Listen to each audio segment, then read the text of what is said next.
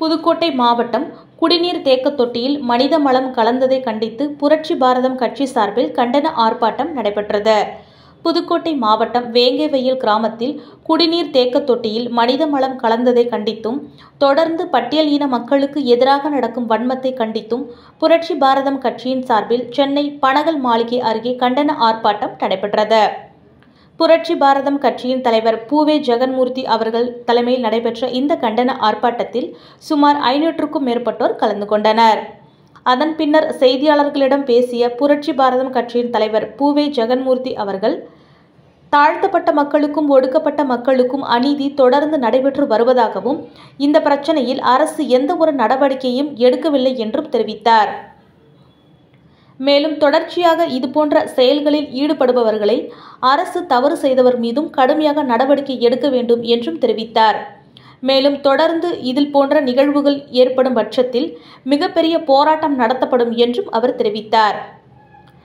இந்த போராட்டத்தில் மாநில துணைத் தலைவர் ஏழுமலை பொருளாளர் மாறன் துணை பொது செயலாளர்கள் காமராஜ் பலராமன் வீரமணி மாநில செயலாளர்கள் சரவணன் முதன்மை செயலாளர் ருசேந்திரகுமார் வழக்கறிஞர் பிரிவு தலைவர் சைமன் பாபு வரதையன் ரமேஷ் ஸ்ரீதர் ஆகியோர் கலந்து கொண்டனர்.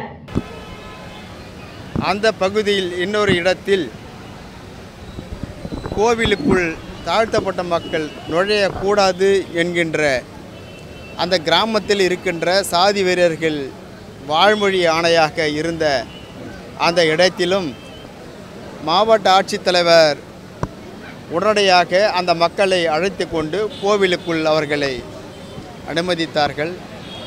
சுதந்திரம் பெற்று இதுவரையில் அந்த கோவிலுக்கு செல்ல முடியாத ஒரு சூழ்நிலை இப்பொழுதுதான் அந்த கோவிலுக்கு நாங்கள் இந்த மாவட்ட ஆட்சித்தலைவர் மூலமாக வந்திருக்கிறோம் என்று அந்த மக்களெல்லாம் பூரிப்படைந்தனர் மகிழ்ச்சி அடைந்தனர். ஒரு பக்கம் அவர்களுக்கு ஆதரவாக இரு இருக்கிறார்கள். ஒரு பக்கம் இந்த மலத்தை யார் குற்றவாளி என்று கண்டுபிடிக்கின்ற ஒரு விசாரணையில் இருக்கிறார்கள். இதற்குள்ளாக ஆளுங்கட்சியில் இருக்கின்ற ஒரு சிலர் அவர்களுக்கு அழுத்தம் கொடுத்து அந்த விசாரணையை அமைதிப்படுத்த வேண்டும் துரிதப்படுத்த தேவையில்லை என்று அவர்களுக்கு அழுத்தம் வருகின்றது. குடிநீரிலே மலத்தை கழித்தார்கள். நாளை விசாரணையில் அது மனித மலம் அல்ல இது மாட்டினுடைய மலம் என்று சொல்லி அந்த விசாரணையை சாதாரணமாக முடித்து விடுவார்கள் என்கின்ற எண்ணம் எங்களுக்கு இருக்கின்றது. அது மனிதனுடைய மலமே அல்ல என்று விசாரணையில் அவர்கள் சொல்லுவார்கள். ஏன் என்று சொன்னால் மனிதனுடைய மலம்தான் என்று சொன்னால் அந்த மலத்தை கழி அந்த மலத்தை அதில் கலத்தது யார்? அவர்களை கண்டுபிடித்தால் அவர்களுக்கு சிறந்த தண்டனை கொடுத்தால் அந்த பகுதியில் இருக்கின்ற அந்த இனத்தை சேர்ந்த மக்கள் ஒன்று சேருவார்கள் அரசுக்கு எதிராக இருப்பார்கள் அரசுக்கு எதிராக செயல்படுவார்கள் என்கின்ற காரணத்தினால் அந்த மாவட்டத்தில் இருக்கின்ற அரசியல் முக்கிய புள்ளி அதை காலதாமதப்படுத்துகிறார்கள். நாளை அது மலமே இல்லை என்றும் விசாரணை அறிக்கை வருவதற்கு தயாராக இருக்கின்றார். அது எங்களுக்கு தெரிந்த விஷயம்.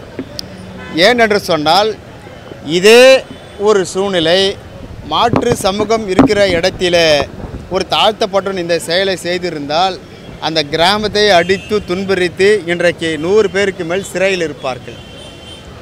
ஆக தாழ்த்தப்பட்ட மக்களுக்கு ஒரு சட்டம் மற்றவர்கள் ஒரு சட்டம் என்கின்ற ஒரு நியதி இவர்கள் சொல்லுகிறார்களே நீதி கட்சியிலிருந்து நாங்கள் வந்திருக்கின்றோம் நாங்கள் தான் இந்த மக்களுக்கு அதிகாரத்தை கொடுத்தோம் நீதியை கொடுத்தோம் என்று. அப்பொழுதுதான் அநீதியே உருவாக்கப்பட்டிருக்கிறது என்று அனைவருக்கும் தெரியும்.